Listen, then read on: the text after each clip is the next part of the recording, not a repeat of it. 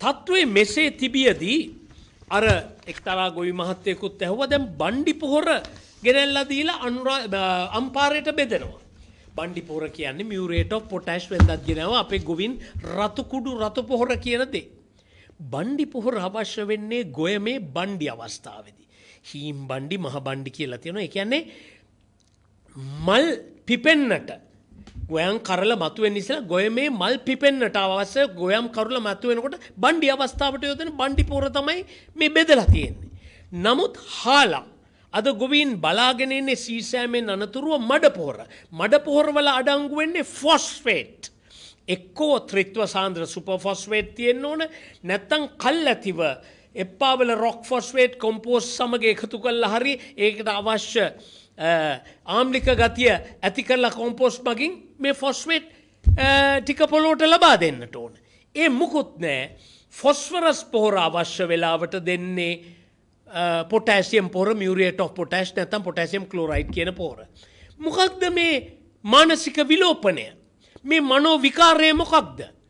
හරියට මඩ පොහොර ෆොස්වයිට් පොහොර අවශ්‍ය වෙලාවට බණ්ඩි අවස්ථාවේ ලබා දෙන පොටෑසියම් බණ්ඩි පොහොරදීම නිදර්ශනයකින් කිව්වොත් මෙන්න මේ වගේ. මහින්දානන්ද අලුත්ගමගේ ඇමතිතුමාට නාවල පිටිය පන්සලකින් කියනවා පෙරහැරක් තියෙනවා අලියෙක්ක වන්න කියලා පෙරහැර ගෙනියන්. මහින්දානන්ද ඇමතිතුමා බූරුවෙක් දක්කගෙන යනු. මෙන්න මේ වගේ වැඩක් තමයි මඩ පොහොර ඕන වෙලාවට බණ්ඩි පෝරගෙනීමෙන් කරලා තියෙන්නේ. මේ වගේ භයානක තත්ත්වයක් රට ඇති කල්ලා කවදාහරි කාබනික කෘෂ්කර්මය කියන සංකල්පය තව අවුරුදු විස්සකින් විස්සක කාල පාරාසයක් තුළ හෝ කරලා මේ රටේ කෘෂ්කර්මය නංවන්න තිබිච්ච අවස්ථාව තමයි මේ ගෝටාබේ රාජපක්ෂ ජනාධිපතිතුමාගේ මූලිකත්වෙන් මේ කැබිනට් මණ්ඩලය මේ ඇමති මණ්ඩලය සියලු සෙසු රජයේ මන්ත්‍රීවරු එකතු වෙලා විනාසය කරා අරගෙන යන්නේ. අපි අහනවා. මං මගේ මුල් සාකච්ඡාව මේ අවස්ථාව බේස්ථානයේදි කිව්වා. මේ රටේ අස්වැන්න මේ පෝරහිගේ ආවොත් පොහොර නොමැතිකමාවොත් සියට හතලියයි හැත්තෑවයි අතර අස්වැන්න හිංග කමක් තිබෙනවයි කියලා. අපි ආණ්ඩුවට කියනවා.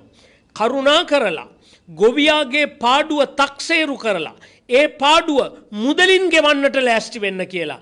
මහින්දානන්ද ඇමතිතුමාගේ කටපත් ඇදිල්ලෙන් ගොවියගේ බඩේ ගින්දර නිවන්න පුළුවන් කමක් නෑ.